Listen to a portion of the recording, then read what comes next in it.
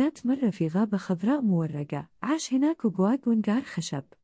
اشتهر الوقواق بصوته الرخيم الجميل وكان نقار الخشب معروفا من قاره القوي الذي كان ينقر على الأشجار.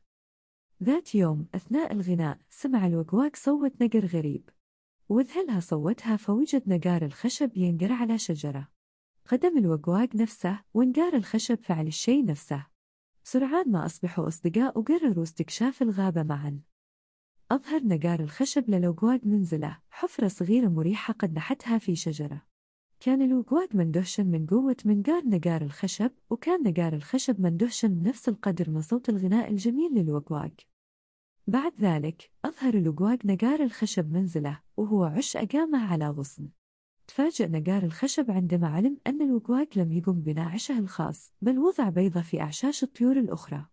أوضح الوقواق أن هذه هي الطريقة التي تطورت بمرور الوقت لرعاية صغارها بأقل جهد. وأصل الصديقان رحلتهما وحلقة فوق الغابة معجبا بجمالها.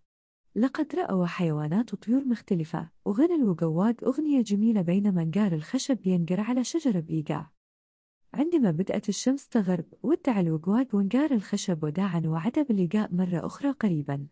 ذهب كلاهما إلى منزلهما وشعروا بالامتنان لصداقتهم الجديدة والمغامرة المثيرة التي شاركوها.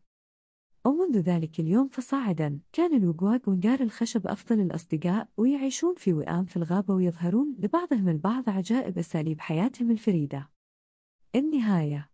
تصبح على خير.